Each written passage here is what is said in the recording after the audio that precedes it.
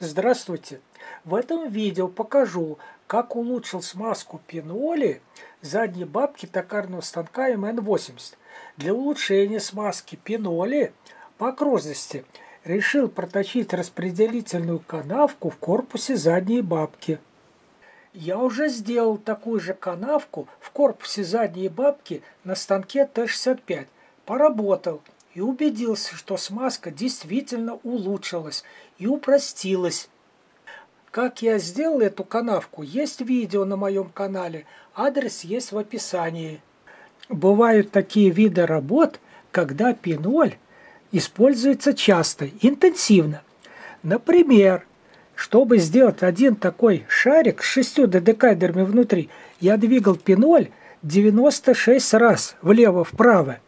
И за все время работы ни разу не лил масло на пиноль ни слева, ни справа. Я вообще не заботился о смазке пиноли, и пиноль оставалась смазанной. На пиноле было видно масло. Работала пиноль мягко. А масло налил один раз на все время изготовления шарика. Поэтому я решил сделать такую же распределительную канавку и в корпусе пиноли этого станка МН-80.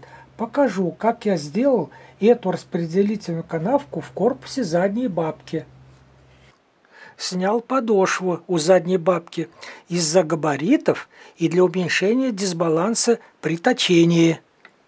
Решил установить корпус задней бабки на деревянной оправке с диаметром, равным диаметру пиноли 20 мм. Выточу оправку так, чтобы корпус одевался на эту оправку с натягом, туго. Точу оправку.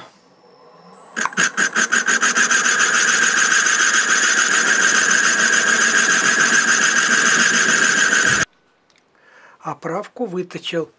Вот так вот корпус задней бабки будет устанавливаться.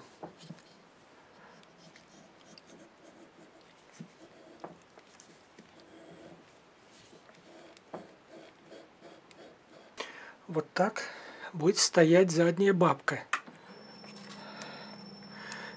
Получается, ось вращения отверстия под заднюю пиноль совпадает с осью вращения шпинделя. Решил выточить канавку внутри разной глубины по окружности, так, чтобы максимальная глубина была сверху корпуса задней бабки, там, где расположена масленка, а внизу, где у пиноли проходит продольный паз, канавки вообще не было. И это я решил сделать для того, чтобы масло не утекало по этой канавке через продольный паз в пиноле. Для этого приточения канавки – ось отверстия под пиноль должна быть смещена относительно оси вращения на станке задней бабки.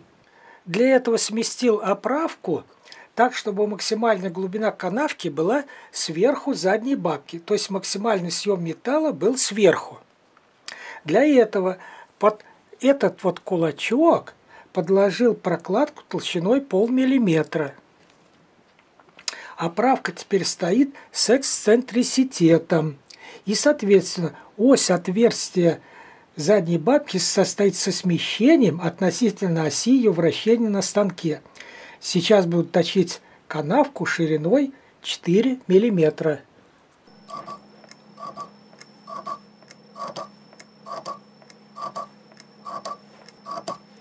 Из-за большого дисбаланса точу на самых малых оборотах.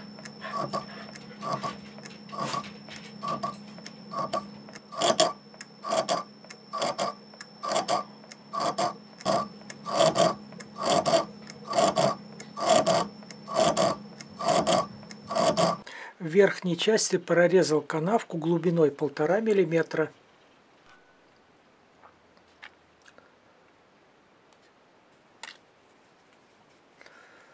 Вот в верхней части видна канавка. Вот она.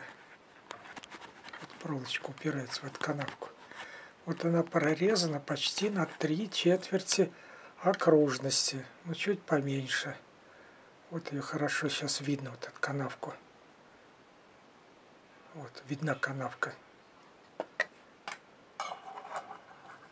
По оправке видно, как хорошо вычистилось внутреннее отверстие под пеноль в задней бабке. Сколько грязи оправка оттуда вытащила.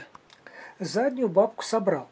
Теперь масло, которое поступает из масленки, стекает из масленки в кольцевую канавку по обе стороны пеноли, стоит в этой канавке и при движении пеноли влево-вправо равномерно распределяется не только по длине, но и по окружности пеноли. Но смазка через масленку не заменяет смазку пеноли обычным способом, наливая масло на свободный конец пеноли слева. Я считаю, что надо смазывать и открытый участок пеноли. Теперь при работе пеноль всегда в масле. Вот так я улучшил смазку пеноли задней бабки токарного станка МН-80. Спасибо за внимание, приглашаю на мой канал.